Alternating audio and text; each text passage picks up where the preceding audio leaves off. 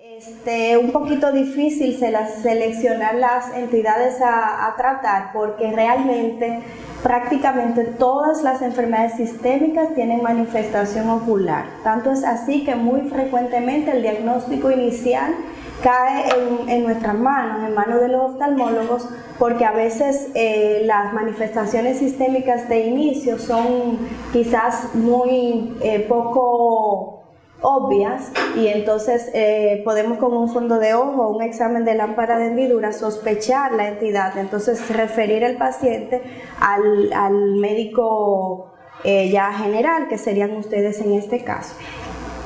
Entonces vamos a Vamos a, tratar este grupo de enfermedades. Primero vamos a hablar de las facomatosis, eh, de algunos trastornos metabólicos, anomalías cromosómicas, algunos trastornos del tejido conjuntivo, el albinismo como, como tema ya eh, una como entidad misma y, otras patologías infecciosas y autoinmunitarias. Entonces la facomatosis, eh, no voy a hablar de la parte sistémica, me voy a, a, centrar básicamente en lo que son las manifestaciones oculares. La facomatosis ya sabemos que son un grupo de enfermedades que van a afectar piel, tejido nervioso y el ojo como principales blancos. Entonces, dentro de estas, las más importantes en los niños serían la neurofibromatosis con sus variedades, el síndrome de Sturge-Weber, la esclerosis tuberosa, la enfermedad de von Hippel-Lindau y las ataxias telangiectasias.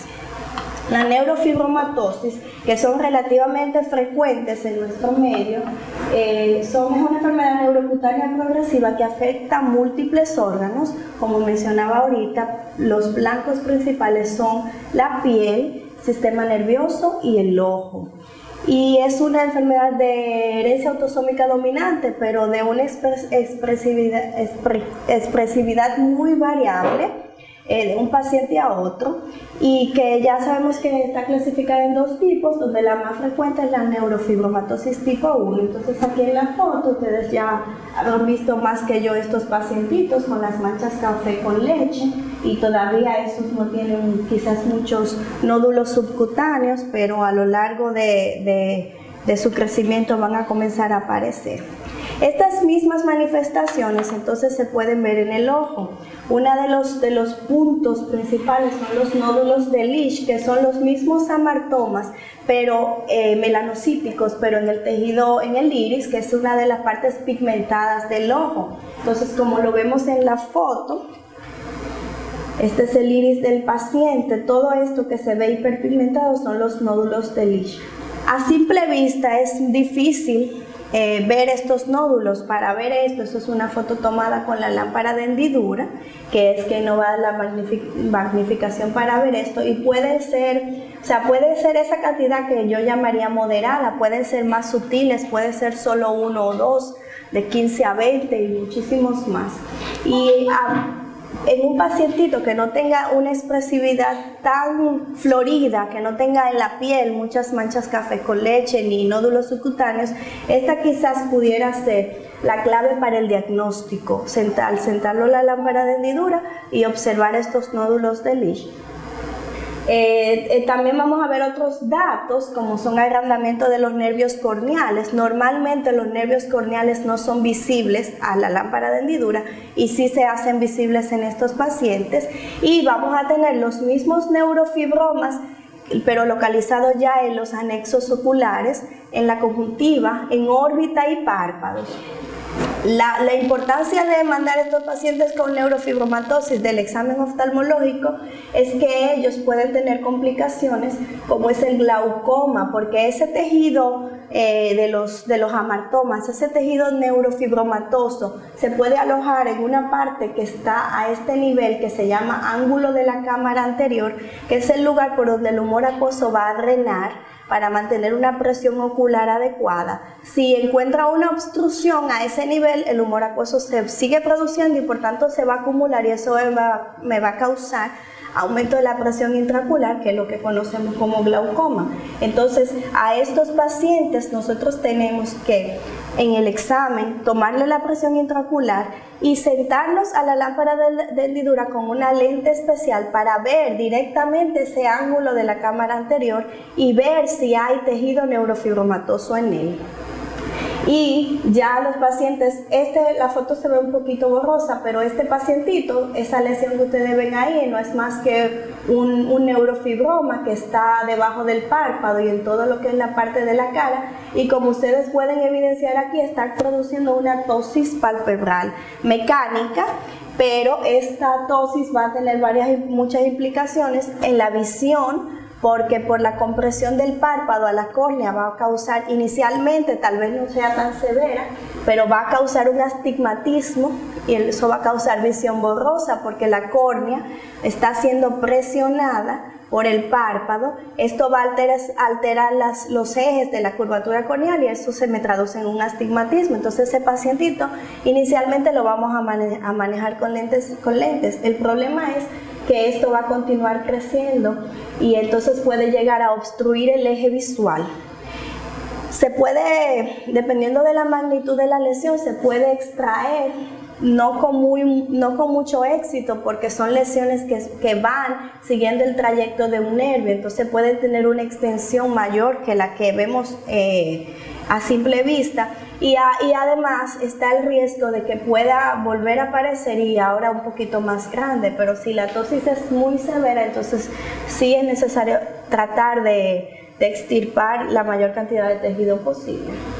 Este incluye toda la cara. A veces son más sutiles a veces hay que observar muy bien al paciente para podernos dar cuenta de que, de que tiene una lesión en párpado.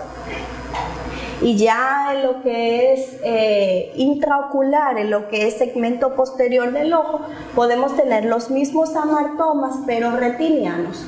Esto no lo vamos a poder ver jamás a simple vista, sino que ya observando bajo dilatación el fondo de ojo. Si estos amartomas son periféricos y no afectan la mácula, probablemente no van a tener síntomas visuales, entonces el paciente nunca se va a quejar eh, y entonces solamente lo podemos determinar bajo el examen de fondo de ojo, eh, bajo dilatación y observar el crecimiento de estos. Pues son muy frecuentes también en los pacientes con neurofibromatosis eh, los gliomas de las vías ópticas, no solo del nervio óptico, sino de, la, de lo que es quiasma. Y pueden inicialmente no dar síntomas, eh, y casi siempre se presentan en la primera década de la vida, pero pueden a largo plazo por compresión causar una atrofia óptica con una pérdida total de la visión en el ojo en el que se encuentra el glioma. Ya todo eso es neurofibromatosis tipo 1. Ya la neurofibromatosis tipo 2, que se, acompaña también de tumores a nivel lo que es eh, del acústico. Eh, las lesiones oculares van a incluir también cataratas, pero esta no es tan frecuente como la tipo 1. Entonces, cuando tenemos un pacientito con una neurofibromatosis, es importante eh, referir al paciente y a toda la familia, porque a veces hay otros que tienen una expresividad menos, menos, menos florida entonces eh, quizás se pase desapercibido el hermanito, hay que tráeme el hermanito, tráeme al padre, a la madre, para hacer toda una investigación de todo el núcleo familiar. Entonces, otra de las facomatosis es el síndrome de Sturge-Weber, también llamada eh, por, su localización angiomatosis encéfalo-trigeminal. Entonces aquí vamos a tener lo típico, un hemangioma facial unilateral en, el territorio de distribución de las ramas 1 y 2 del quinto par craneal, del trigémino, tal como se ve en la foto. B1 y B2. Entonces, este hemangioma pudiera ser más sutil que este, ese es un cuadro un poquito aparatoso. Lo importante es, es saber que estos pueden acompañarse de angiomas también en las leptomeninges, en la piamadros y aracnoides, y que pueden acompañarse de calcificaciones intracraneales y que estos pacientitos van a, poder, van a tener convulsiones, pueden, perdón, pueden tener incluso hemiparesia. Esto va a llevar a un retraso del desarrollo y a un déficit mental en estos pacientes. Entonces, desde el punto de vista oftalmológico, estos pacientitos, en el 40% de ellos vamos a encontrar hemangiomas coroideos o sea, el polo posterior, el segmento posterior, cuando hacemos el fondo de ojo, vamos a ver una lesión, eh, un hemangioma parecido al que se ve en la cara y este, a este tipo de fondo, por el aspecto, nosotros le llamamos fondo en salsa de tomate. No es una lesión bien circunscrita, sino que el fondo, que normalmente es anaranjado, lo vamos a ver como salsa de tomate, así derramada, más rojo de lo normal. A veces si no lo estamos buscando, se nos puede pasar desapercibido. Eh, eh, debido a esta lesión en retina, esto puede dar como consecuencia una hipermetropía progresiva y esto se trata con gafas y puede, si evoluciona, llevarme a un desprendimiento de retina. Una vez más, tengo el riesgo de que el paciente desarrolle glaucoma como complicación porque este tejido, sobre todo en los de párpado, que pueden invadir todo lo que es ya el globo ocular, ese tejido hemangiomatoso también me puede obstruir el ángulo y también me puede obstruir los, la otra vía de drenaje del humor acuoso que son los vasos epiesclerales, la vía, la vía escleral puede estar impedida por tejido hemangiomatoso, entonces eso va a disminuir el drenaje del humor acuoso y voy a tener en estos pacientitos glaucoma. Entonces, un pacientito con Sturge-Weber, todo paciente con un hemangioma, aunque no sea un Sturge-Weber, debemos sospecharlo y debemos hacer el examen oftalmológico para, este, para monitorizar presión intraocular porque quizás eh, de inicio no va a tener glaucoma, lo puede desarrollar en el tiempo y entonces si lo desarrolla debemos manejar esa, esa bajar esa presión con, primero con medicamentos tópicos, quizás podamos necesitar cirugía, todo esto para evitar que la compresión constante al nervio óptico me vaya a causar una atrofia óptica y entonces ese paciente tenga un daño visual severo por glaucoma como consecuencia de este hemangioma que presenta. Eh, aunque el paciente esté bien, sus chequeos van a ser por lo menos cada 6 a 9 meses, aunque aparentemente está bien para corroborar que esa presión intraocular está normal y que esto no está causando complicaciones. Otra de las facomatosis es la esclerosis tuberosa. Esta se va a caracterizar por angiomas, los llamados adenomas sebáceos, que son angiofibromas con una distribución en la parte central de la cara, mejilla, y, como, y por eso se le llama como en alas de mariposa. Es una fase típica de estos pacientes. Estos, estos también pueden tener lesiones intracraneales que me van a llevar a convulsiones y luego retraso mental, aunque no un retraso mental muy severo. También es herencia autosómica dominante, parecida a la facomatosis, con alta penetración y variabilidad. De hecho, estas dos entidades, la facomatosis y la esclerosis tuberosa, se vamos a decir que se comparan mucho porque tienen mucha similitud en la distribución de sus lesiones. Este es un pacientito mexicano del, instituto con una, miren aquí las lesiones en alas de mariposa, esos son los adenomas sebáceos en toda la parte central de la cara y la mejilla. Eh, también están, este es el mismo paciente, es en la espalda, no sé si pueden ver ahí esa mancha hipocrómica que es el signo de la hoja de fresno. son frecuentes en la espalda, pero este tenía también en lo que eran los miembros superiores. Y otros y muchas más lesiones, eh, fibromas subungueales, quistes renales y pulmonares. Desde el punto de vista oftalmológico, el 50% de los pacientes va a tener amartomas en la retina y lo vamos a ver como esto. Entonces hacemos el fondo de ojo buscando esas lesiones que muy frecuentemente son periféricas. Esa es la periferia del fondo de ojo. Por ahí ustedes no están viendo ni nervio ni mácula. Es un poquito difícil con el pacientito pequeño que nos coopere, pero siempre se puede. Siempre se puede hacerle todo lo que se le hace a un adulto en el examen oftalmológico hacérselo a un niño y si no podemos hacérselo en consultorio, bueno, pues tenemos que acudir a una evaluación bajo anestesia, pero hay que buscar las lesiones.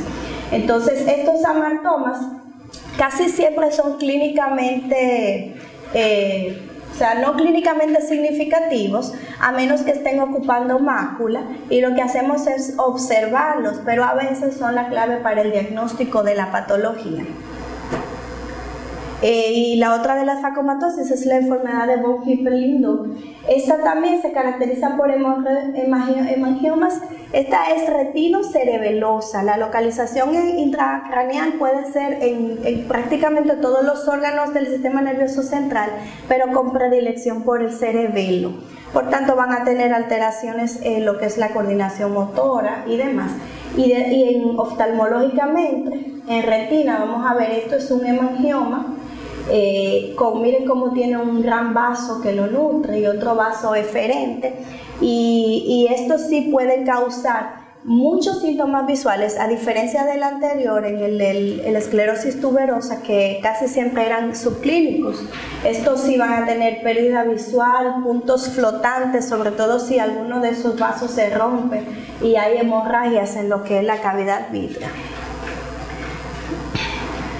Eh, entonces tenemos los trastornos, ya dejando atrás las facomatosis, otro grupo de enfermedades son los trastornos metabólicos, eh, que son, se caracterizan por defectos de las enzimas catabólicas lisosomales.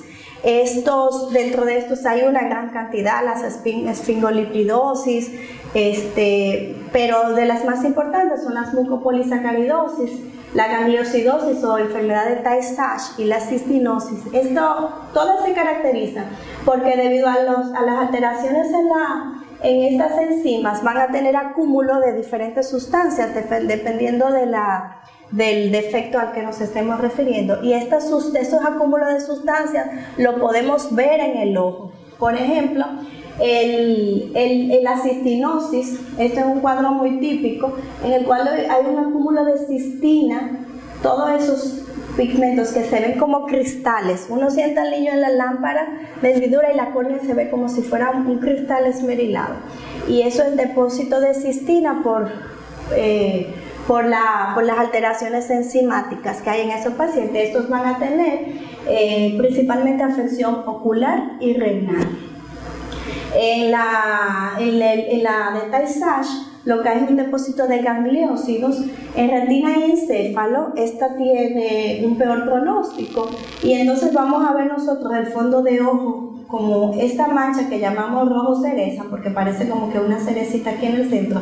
Lo que pasa es que esos, esos gangliósidos se acumulan en las células ganglionares de la retina.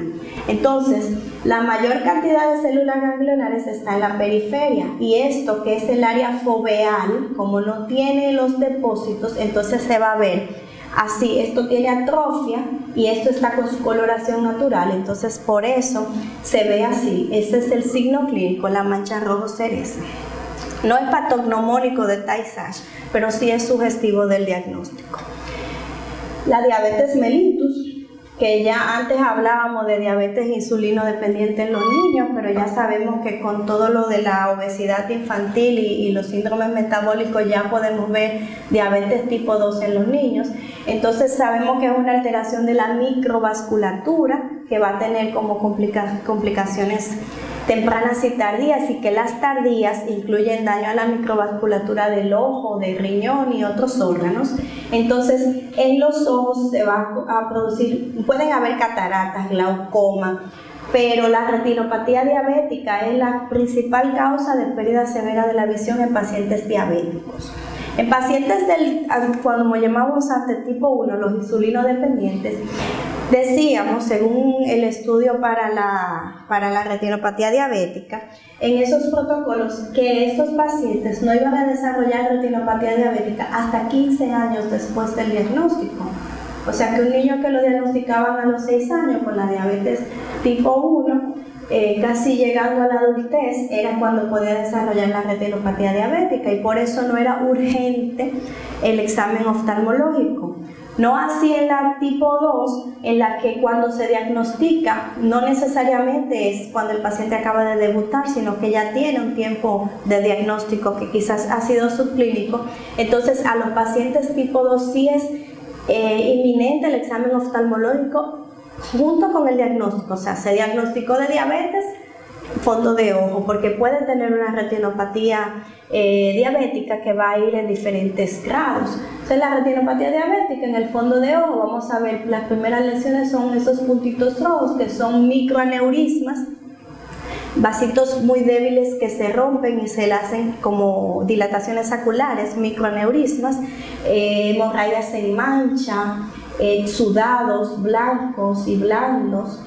Eh, y esto va progresando hasta causar que esos vasos haya isquemia, se formen nuevos vasos, los nuevos vasos son débiles, se rompen, hayan hemorragias, las hemorragias contraen el vitro, esto tracciona la retina, finalmente un desprendimiento de retina y se perdió el ojo. Esa es la evolución natural si no se detecta a tiempo. El tratamiento para la retinopatía diabética no es curativo, es detectarlo a tiempo para dar láser o inyectar medicamentos antiangiogénicos para detener el daño, para que no siga avanzando, pero el daño ya establecido, entonces no lo podemos controlar. Entonces ya no es la diabetes una enfermedad de los ancianos, de los adultos, del geriatra, no, también nos compete a nosotros. Entonces todo niño diabético, sea tipo 1 o tipo 2 diabético, para evitarnos confusiones, inmediatamente su diagnóstico, un fondo de ojo anual, si todo va bien. Si hay algún cambio, ya entonces el oftalmólogo decidirá qué tratamiento va a emplear con ese paciente. Y el que aparezca la retinopatía y su progreso va a depender del control metabólico estricto del paciente. Yo le puedo dar al paciente láser, poner antiangiogénico, todas las herramientas que dispongo, pero si no hay un control metabólico estricto, una educación del paciente y, el y la familia, todo el entorno, de los hermanitos, hasta de los amiguitos en la escuela, que lo cuiden, que le digan, no, tú no puedes comer eso, no puedes hacer esto no vamos a obtener un resultado favorable para el paciente. Y siendo un niño diagnosticado temprano de diabetes, la esperanza y calidad de vida va a ser menos que la de un adulto que a veces cuando se diagnostica ya va a vivir los años que le quedan con diabetes. Este niño tenemos que cuidarlo porque le quedan muchos años, que pueden ser muchos años con una buena calidad de vida o pueden ser años muy tortuosos y con una carga social y económica para esa familia. Entonces eh, sí es importante cuidar mucho a nuestros pacientitos diabéticos su chequeo oftalmológico anual, si todo está bien, aunque todo parezca estar bien, y si hay algún tratamiento, eh, poderlo hacer a tiempo. Pasando ahora a lo que son las anomalías cromosómicas, solamente me voy a referir a dos, la más frecuente de todas, la trisomía 21, el síndrome de Down. Este grupo de pacientes tiene gran cantidad de manifestaciones oftalmológicas que no todas, gracias a Dios, van a estar presentes en todos los pacientes, pero que pueden, pueden estar, puede haber ninguna de ellas o pueden haber varias combinadas. Entonces, son frecuentes las cataratas en los pacientes con síndrome de Down. A veces cataratas importantes que pueden mermar la visión y a veces cataratas que no son clínicamente significativas, que solamente la vamos a detectar cuando lo sentamos a la lámpara de hendidura y vemos esa pequeña opacidad puntiforme en el cristalino. Este, la miopía es el efecto refractivo más frecuente en estos pacientitos, por eso deben que muchos pacientitos con síndrome de Down lo ven con sus lentecitos, eh, porque sí son frecuentes los defectos refractivos y ellos también se merecen una buena calidad de visión para que puedan desarrollar al máximo todas sus capacidades.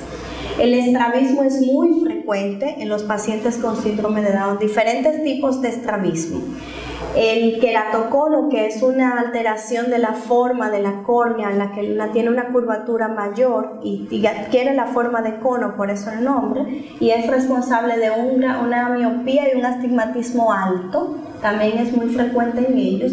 Y las alteraciones de los párpados, puente nasal ancho, epicanto inverso, eh, ectropio, y esto me puede dar alteraciones de la superficie ocular, alteraciones de las vías lagrimales, es muy frecuente la obstrucción de las vías lagrimales en ellos. Eh, y las manchas hipopigmentadas en el iris, que eh, son las manchas de Brooksfield, pero estas no son clínicamente significativas, pero sí están presentes en ello. Entonces, pacientito diagnosticado con síndrome de Down desde el nacimiento, inmediatamente su chequeo oftalmológico, no esperar al año de edad como haríamos con un niño sano, hay que mandarlo inmediatamente para nosotros hacer, no importa, al mes desde que le dieron de alta del cunero, para nosotros poder evaluar completamente ese pacientito y ver qué de esto hay presente y cómo lo vamos a manejar para desde sus tempranos días en la vida irle dando calidad de vida a ese paciente con síndrome de Down. Eh, la trisomía 13 ya esta es más rara y con menos expectativas de vida, pero sí los, las alteraciones oculares que presenta son eh, aparatosas, así como las alteraciones cerebrales. Por eso solo el 5% sobrepasa los 3 años debido a todas estas alteraciones, pero sí es, es importante tenerlas presentes y si nos llegara alguna vez un pacientito, en el tiempo que lo vamos a tener también debemos darle calidad de vida y estas cosas se pueden manejar. Los trastornos del tejido conjuntivo, dentro de los cuales hay gran variedad, vamos a tocar estos. El síndrome de Marfan, uno de los más frecuentes, eh, de herencia autosómica dominante, eh, frecuentemente vemos toda la familia desfilar por el consultorio, a veces que ni siquiera están diagnosticados, a veces no tienen muchas manifestaciones sistémicas, no tienen alteraciones cardíacas y se nos pasan desapercibidos y parecen que son niños muy altos simplemente. Cuando los sentamos a la lámpara de hendidura, entonces vemos la subluxación del cristalino. Eso es el cristalino, aquí no hay nada. ¿eh? Es el cristalino que se subluxó hacia arriba y temporalmente este, porque por la alteración del tejido elástico, este normalmente está sujeto por lo que son las zónulas y las zónulas tienen tejido elástico, este, esta se debilita y el cristalino se luxa. Puede incluso eh, luxarse completo y caer a, segmento posterior o cámara anterior y en este caso tendríamos que extraerlo y ponerle una lente intraocular.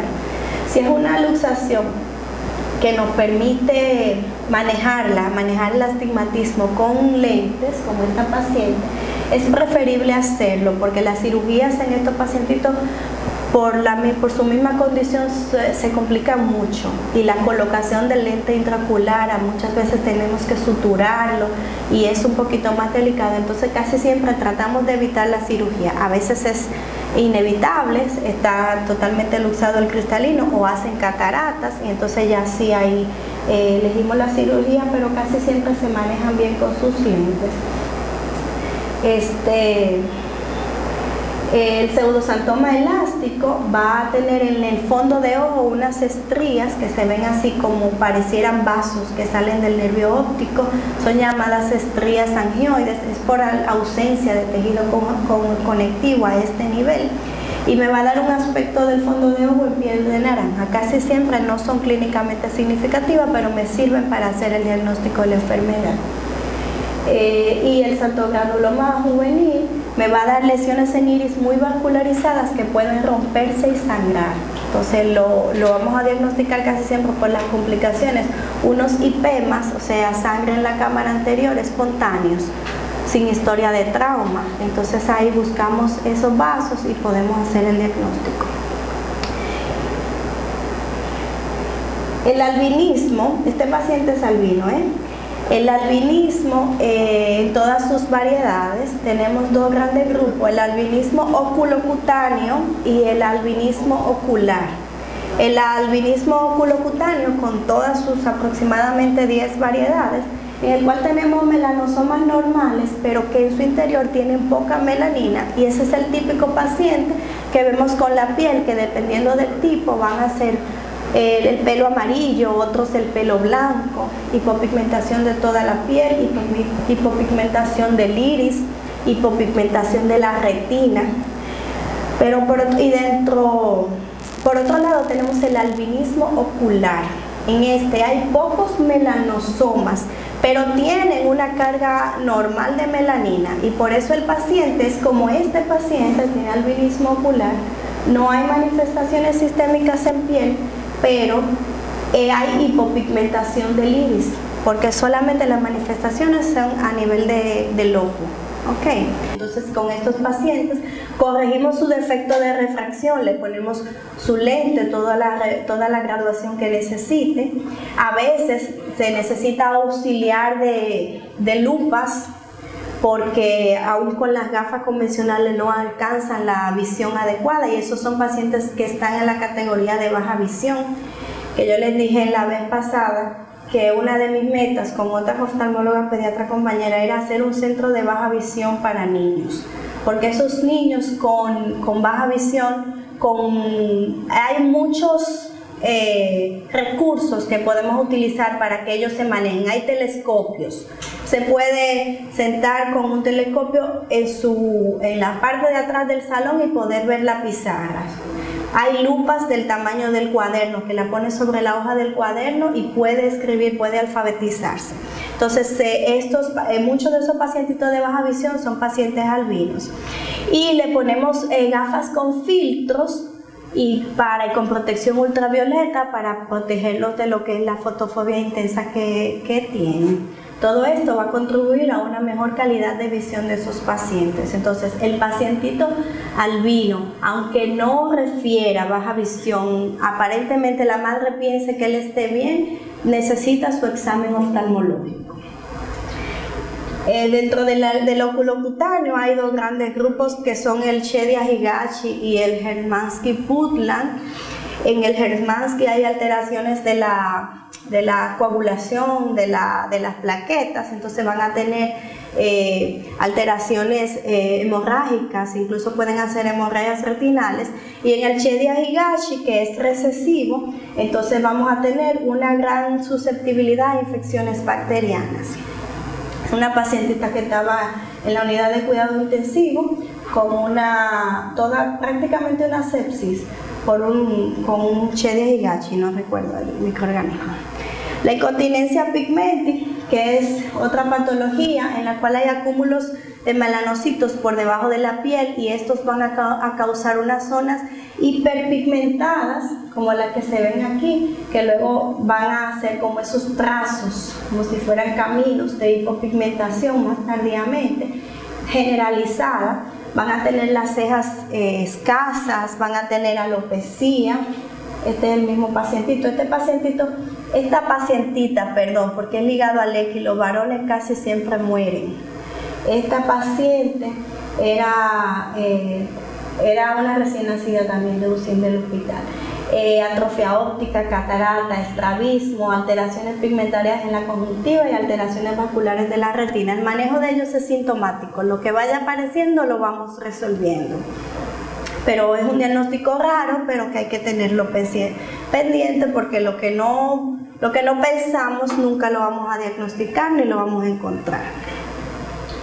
El síndrome de Rubinstein-Taibi, este niñito con carita de duende o carita de pajarito, eh, que, eh, que, tiene el dedo, los dedos, el primer ortejo y el, y el dedo gorditos, eso es típico del síndrome, no es que el niño tiene, es gordito ni nada, son de baja estatura, sí tiene retraso mental leve.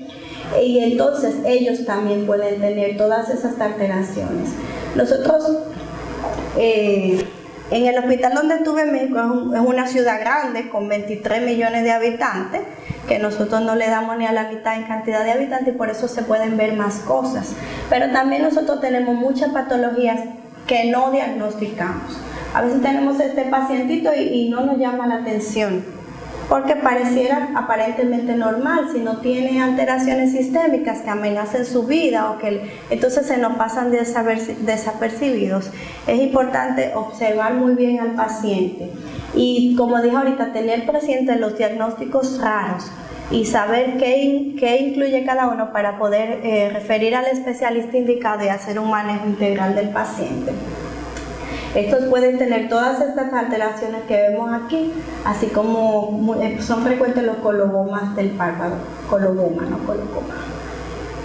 Las craniosinostosis son un poco más frecuentes, son un cierre prematuro y anormal de las suturas del cráneo, dependiendo de cuáles suturas vamos a tener las diferentes eh, craniosinostosis. De las más frecuentes son el upper y el cruzón y estas van a tener eh, malformación en todo lo que es el macizo facial, por eso van a tener alteraciones de órbita, generalmente los ojos muy prominentes hacia lo muy prominentes. Esto me puede dar una exposición más de lo normal, una exposición corneal. Y puedo tener en esos pacientes perdón, alteraciones de la superficie ocular, miopías, hacen hidrocefalia, a veces no, o sea, muy eh, subclínicas podemos llamarle, pero esa hidrocefalia ahí constante, comprimiendo el nervio óptico, me va a dar a la larga una atrofia óptica por el edema de papila.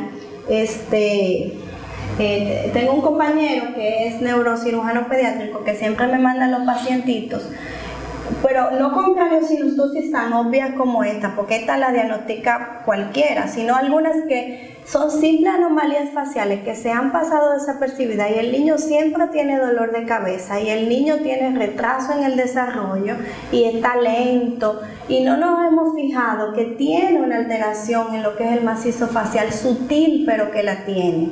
Entonces se le hacen eh, sus estudios, bueno ya eso lo indicará el neurocirujano, los estudios de imágenes para buscar algunos datos y también entonces nosotros vemos el fondo de ojo y vemos cambios en la papila del nervio óptico que nos pueden confirmar el diagnóstico.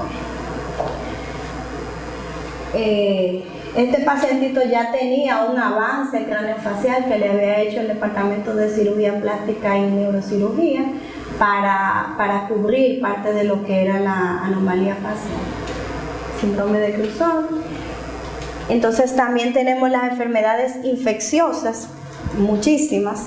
Voy a mencionar la toxoplasmosis por ser la más frecuente.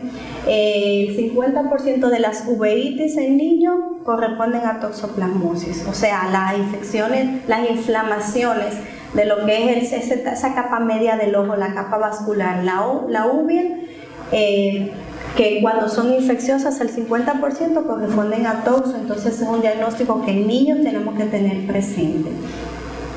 Esta foto es de una toxocariasis, que es parecida a la toxoplasmosis, pero esta enfermedad, parásito producido por el perro, es el Toxocara canis. el cuadro sistémico es muy sutil y puede pasar como una virosis cualquiera, entonces muy frecuentemente no se diagnostica el cuadro sistémico como tal, sino que luego del tiempo ese, ese ese, micro, ese, ese, agente causal invade el ojo y causa todo esto que ustedes ven aquí en la retina es causado por el toxocara. Son unos cuadros de exudación y de, y de contracción dentro del, del, globo ocular que si afectan la mácula, como en este caso van a, a afectar severamente la visión, entonces me van a dar como complicaciones ya más tardías estrabismo. Y esto que ustedes ven aquí es una leucocoria, el signo tan importante que siempre les digo que, es que tienen que tener presente, porque esto puede ser, este es un diagnóstico diferencial para la leucocoria, pero pudiera ser un retinoblastoma. tenemos que hacer el diagnóstico diferencial ya, la, eh, ya clínicamente al visualizar el fondo de ojo. Eh, hay, hay cosas que nos ayudan a diferenciar uno de otro. Este pacientito de, ah, que es toxocariasis, yo le voy a corregir su estrabismo, no le voy a poder devolver su visión porque está una lesión ya definitiva en la mácula, pero va a conservar su globo ocular. Si fuera un retinoblastoma, probablemente, lamentablemente, todavía en nuestro medio le estamos haciendo enucleación, o sea, quitar todo ese globo ocular con un, medio, con un nervio óptico. Yo espero que eso no dure mucho porque ya en el mundo no se están haciendo enucleaciones, sino que esos ojos se están salvando. No siempre se puede salvar la visión, pero sí se puede salvar el ojo. Entonces la toxoplasmosis eh, congénita, ustedes saben más que yo de esto, dependiendo del trimestre del embarazo en que, en que sea eh, causada la infección, va a tener diferentes manifestaciones. En el ojo yo voy a tener este, retinocoroiditis, Casi siempre las, las, infecciones por toxoplasmosis, las manifestaciones oculares retinianas por toxoplasmosis, casi siempre son congénitas. aunque se manifiesten tardíamente en la vida. Es raro, no es imposible, pero es muy raro que una toxo adquirida pueda darme esas manifestaciones oculares. O sea, el niño nunca tuvo toxoplasmosis y de repente ahora está infectado con toxoplasmosis y las manifestaciones oculares eh, son poco probables o van a ser tardías, no así las congénitas. Se cree, y esto es algo que está como todavía en disputa, que las manifestaciones, eh, esas cicatrices de coriobretinitis en el ojo son manifestaciones tardías de una toxocongénita, que pueden manifestarse, según tengo aquí, como hasta 11 años después, o sea, los 11, 12, 15 años del paciente, es cuando estas lesiones se activan. Siempre está el riesgo de que una lesión por toxoplasmosis en, una condición de inmunodeficiencia se reactive. entonces nosotros debemos ver ese pacientito eh, periódicamente porque esta, esta lesión tiene foco de actividad aquí. Todo esto es inactivo y probablemente ese foco de actividad inició en uno de los bordes. Eso me va a dar todo un cuadro inflamatorio. Eh, tener presente que el marcador que para que es, que es eh, significativo de diagnóstico es la IgM, ya que debido a nuestro medio prácticamente todos vamos a tener IgG positiva. Las enfermedades autoinmunitarias, voy a mencionar la artritis reumatoidea juvenil, es una casa importante de uveitis, conjuntivitis, y es importante, aunque no tenga manifestaciones oculares, mandarlo al oftalmólogo para y alertar a esa familia que cualquier ojo rojo o dolor en un, o visión baja en un paciente con artritis o cualquier enfermedad autoinmune es un indicativo de acudir al oftalmólogo ese mismo día o quizás al otro día, porque las uveitis si causan, tienen muchas complicaciones que causan mucho daño visual. Casi siempre en el manejo sistémico de estos pacientes eh, están los esteroides, entonces los esteroides también tienen que tener un seguimiento por parte del oftalmólogo ya que pueden ellos ser causantes de glaucoma y de cataratas como efectos secundarios. Entonces ese pacientito que no le podemos quitar el esteroide sistémico porque su condición lo amerita, debemos tener un seguimiento oftalmológico estrecho para... Eh, detectar estas posibles complicaciones. Enfermedad de Kawasaki, una vasculitis aguda, sistémica y autoilimitada que va a tener, en los ojos lo que va a tener son eh, una eh, inyección conjuntival, hiperema inyección conjuntival, aunque también pudieran hacer uveitis yo cuando estaba poniendo esa foto ahorita, mi niña me dice, mami, ¿qué es eso? Yo le digo, un niño enfermo. Me dice, ay, se tiene sus ojitos muy malitos, pero me gusta su pinta labio. eso es el solo labio como en fresa, típico de los, de los pacientitos con enfermedad de Kawasaki. La enfermedad, eh, la atopia, las enfermedades eh, que tienen que ver con alergias, el asma, pueden darnos este cuadro de quizás no tan florido al inicio de conjuntivitis, pero las conjuntivitis alérgicas a repetición y constantes y mantenidas en el tiempo sin un control adecuado sí nos van a llevar a esto. Entonces, ese amarillo que tanto le preocupa a los padres, si el amarillo se le va a quitar, lamentablemente puede mejorar con un tratamiento intenso, pero probablemente no se va a quitar, entonces debemos evitar llegar ahí. Desde que usted le cae en la mano a un niño atópico, hay que comenzar su manejo eh, oftalmológico. Porque a veces los síntomas, si no abierto el párpado y lo pongo en la lámpara, no los veo. Entonces lo vamos a manejar conjunto con, eh, con el alergista también para hacerle sus pruebas alergénicas y quizás la terapia inmunológica si lo amerita eh, antialérgicos sistémicos, antiinflamatorios y el tratamiento tópico.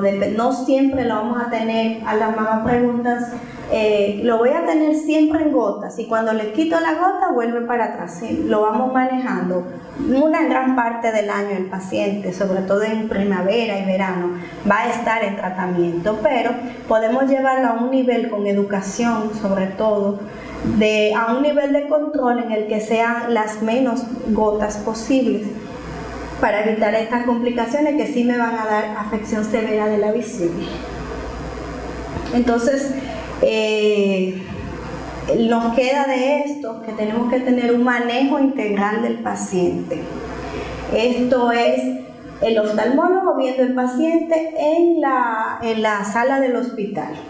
Eso sería lo ideal, que cuando te diagnosticamos una enfermedad sistémica que ya sabemos que tiene manifestaciones oculares, o que no lo sabemos, pero sospechamos que algo no, anda bien en su ojo, podamos darle atención a ese paciente.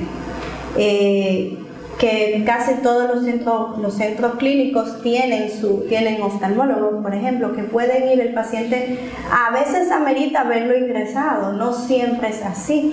Eh, y, lo ideal sería que nuestros hospitales pediátricos sí dispusieran de un verdadero de, eh, servicio oftalmológico en lo que sí se pueda dar esta atención, porque la mayoría de estos casos ustedes saben que lo vamos a ver en el ambiente hospitalario que no nos caen tanto en la consulta privada, pero que hay que tener presente para poderlo diagnosticar. Muchas gracias.